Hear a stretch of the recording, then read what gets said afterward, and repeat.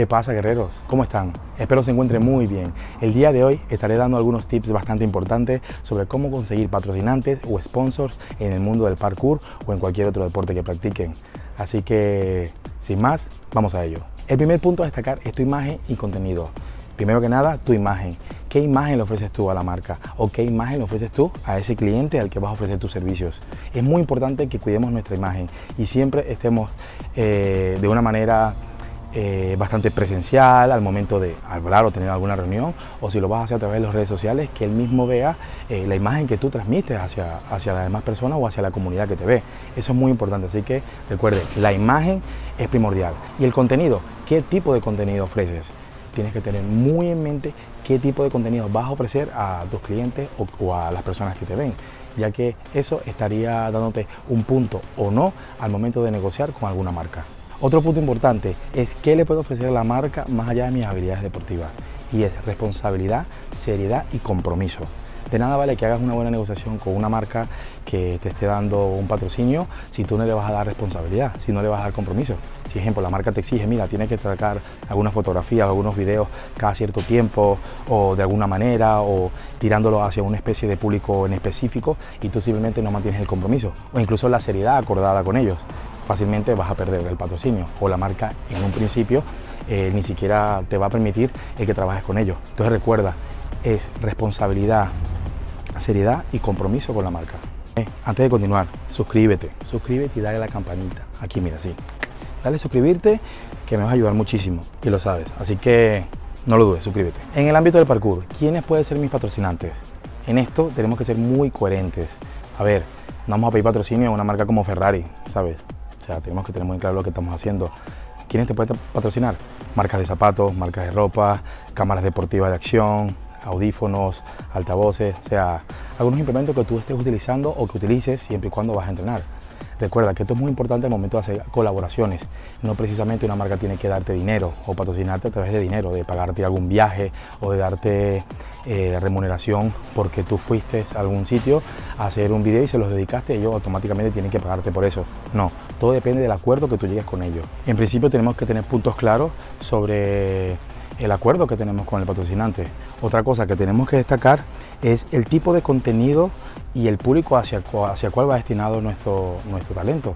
Porque si el patrocinante, ejemplo, es una marca de zapatos y nosotros hacemos parkour, seguramente le agrada mucho el trabajar contigo, porque tú utilizas zapatos, ¿sabes? También es que si te vas a poner unos zapatos casuales para hacer parkour, creo que no iría tirando mucho hacia el público eh, específico. No sé si sabes más o menos a lo que me refiero. El caso es que tienes que tener muy en cuenta eh, el tipo de patrocinio que estás buscando, el tipo de contenido que vas a ofrecerle al cliente y hacia el público que va eh, eh, destinado a esta colaboración. Otro punto, la propuesta sobre la mesa. La propuesta sobre la mesa es el acuerdo en el que llegues tú con el patrocinante. Hay muchos patrocinantes que te pueden llegar a decirte, mira, eh, tú me publicas esto, tú me sacas esto para tirar adelante mi marca y yo a ti te voy a dar una camisa cada tres meses, cada cinco meses. Hay mucha gente que a veces, por ser inexperta, no conoce esto y las marcas tienden a aprovecharse de esta persona. Entonces tenemos que estar muy pendientes de esto y ser justos con nosotros mismos y justos con ellos, por supuesto. Las marcas siempre van a tirar hacia ellos y tú, como talento de la marca, tienes que tirar hacia ti. Entonces, en este caso, tenemos que mantener esto muy en mente el acuerdo que nosotros vamos a mantener sobre la mesa con la marca. Así que si la marca te ofrece, mira, toma una camisita para que tú me saques adelante la marca, oye, mira, tienes que llegar a cuestionar eso, o sea, tienes que darte el valor. Si no te valoras tú, nadie te va a valorar. Entonces, tenemos que tener mucho cuidado con eso. Y esto va destinado mucho más a los principiantes, a esas personas que posiblemente no tengan mucha experiencia y que quieran saber, ay, mira, quiero conseguir un patrocinante, quiero obtener ayuda de cualquier, de cualquier medio. Y de pronto llega el patrocinante, como lo menciono, y te da una camisita y vas tú todo emocionado, oh, sí, que genial y tal, que no sé, ya me están patrocinando. No, no, no. Cuida tu talento y también recuerda lo que tú estás ofreciendo. O sea, da lo que, lo que tú estás recibiendo de parte de, de estas marcas u organizaciones. Así que cuidado con eso. Un punto muy importante que me gustaría mucho mencionar es este ahora. ¿Hace falta ser famoso para conseguir patrocinantes o que te apoyen marcas en general? Pues no. Hay mucha gente que es muy talentosa a nivel de creatividad, a nivel de cómo se venden o cómo te vendes y las marcas ven eso en ti. Entonces no importa que tú tengas millones o cientos de miles de seguidores para que una marca se fije en ti, todo radica en lo que tú puedas ofrecer a la marca y en lo que la marca ve en ti. Entonces de ti depende qué ofrecer a la marca y esa imagen, como lo mencioné en el primer punto, esa imagen que tú das es lo que te abrirá la puerta hacia este tipo de patrocinios. Como último punto, que es muy importante, pero es último porque me encanta muchísimo, como el anterior, y es el siguiente, preparar el material para ofrecerlo a la marca.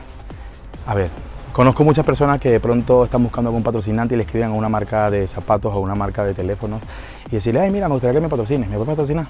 No, hay que saber elaborar la propuesta, el proyecto. En Internet hay muchos modelos de cómo tú puedes escribir o redactar un documento. Busca ayuda si no lo sabes, pero hay mucha información en la que tú puedes redactar un documento de una manera bastante eficiente para que a la marca le sea bastante agradable de verlo y de ver el contenido en sí, de, eh, de estudiar y de echar un ojo a tu portafolio, a lo que tú estás ofreciendo.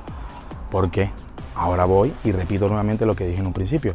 La imagen es fundamental en esto.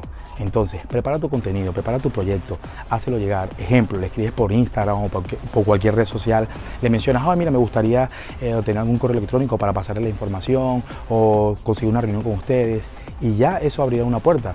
O le puedes dar un pequeño, una pequeña reseña, un pequeño contenido de lo que tú haces a través de ese mensaje para abrirle, para abrir un poco, no digamos la puerta, pero sí la ventana de que esta marca se fije en ti. Entonces, al momento que ellos tengan el correo electrónico, allí ya tienes un paso adelante. Quiere decir que te, ha quiere decir que te han dado la opción de poder enviar más material o en sí el contenido que tú puedes ofrecer. Y entre ello, las fotografías o los videos o en sí aquello que tú quieras mostrar de ti mismo una cosa, es muy importante la formación. Escribe bien, cuidado con los errores ortográficos y cuida, cuidando mucho esos parámetros porque recuerda, quien está viendo, quien, quien te está viendo o quien va a leer tu contenido no es una persona que practica, o puede ser que no, o puede ser que sí, no lo sabemos, pero preferiblemente es alguien que no practica y no tiene ni la más mínima idea de lo que tú haces. Entonces trata de explicarle de una manera coherente y específica lo que haces, lo que quieres aportar y lo que quieres conseguir. Entonces, ya saben, pues esto ha sido todo por el día de hoy chicos, espero este video les haya servido de gran ayuda, la verdad es que recuerden que esto es eh, un video informativo para ustedes, ¿sabes? Para esas personas que están muy interesadas en saber cómo conseguir el tipo de patrocinantes y todo esto y la verdad muy agradecido por haberles ofrecido este tipo de conocimiento. Una vez más, no olviden suscribirse, eh, colaborarme con like, compartir el video, déjame algún comentario, cualquier cosa que quieran saber adicional y recuerden, eh, dejen sus comentarios aquí abajo en la cajita de los comentarios y por favor, por favor, por favor, esto es un video informativo. Esto no necesariamente tiene que ser así, recuerden, este es mi punto de vista, de mi experiencia, de lo que yo he hecho, de las cosas que yo he logrado y quiero compartirlo con ustedes. Así que gracias una vez más por haber visto este video y nos vemos en otro próximo video. Hasta pronto.